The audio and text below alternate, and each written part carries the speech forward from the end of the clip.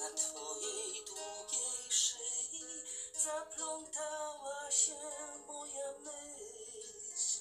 Wstaję więc na palce, a szeptem wzywam nas na zaklęcie splecione.